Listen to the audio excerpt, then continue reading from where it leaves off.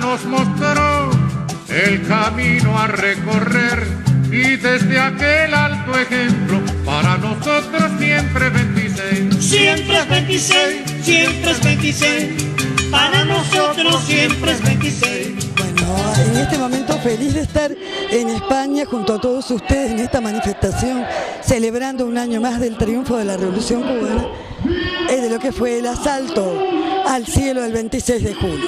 Tenemos una gran preocupación en el Comité Internacional y en todos los comités en el mundo, que es la persistencia de esta injusticia contra los cinco, hoy centrada en Gerardo, Ramón y Antonio.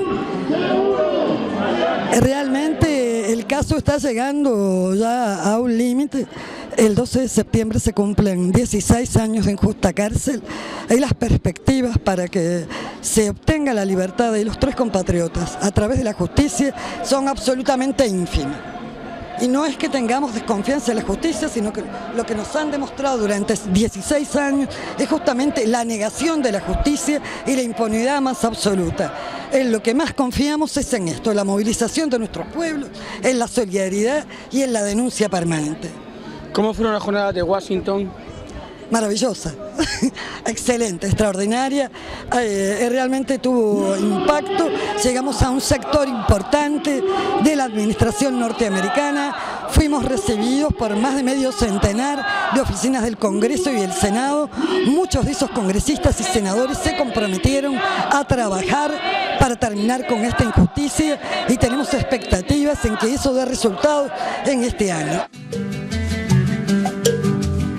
La patria es canto y amor, la patria es lucha y deber, y en esto del patriotismo, para nosotros siempre es 26. Siempre es 26, siempre es 26. ¿Siempre 26? Siempre es 26, con seguridad que siempre es 26. ¿Y siempre será 26? Y siempre será 26. Estamos aquí hoy junto a los amigos solidarios de Madrid eh, para conmemorar un año más la, esa heroica fecha que fue el, 23, el 26 de julio del año 1953 donde un grupo de jóvenes cubanos reivindicó las ideas de José Martí y constituyó un hecho que, que, dio el paso que hacía falta en Cuba para iniciar el gran proceso de la Revolución Cubana que concluyó el primero de enero de 1959. Por lo tanto, es un reconocimiento también esta manifestación hoy y, la presencia de tantos amigos aquí a la descomunal, descomunal obra de la Revolución Cubana, todo lo que se ha logrado hacer durante todos estos años, en 55 años de revolución y que hoy seguimos perfeccionando.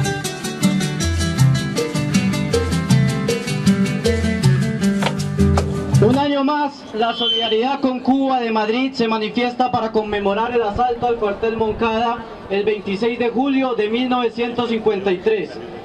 En medio de la peor crisis del capitalismo que precipita la miseria a millones de personas, Cuba sigue siendo ejemplo de dignidad y demostrando que es posible organizar la sociedad sin explotación ni opresión de unos seres humanos por otros. La fórmula es la lucha por el socialismo. ¡Abajo el bloqueo! ¡Abajo!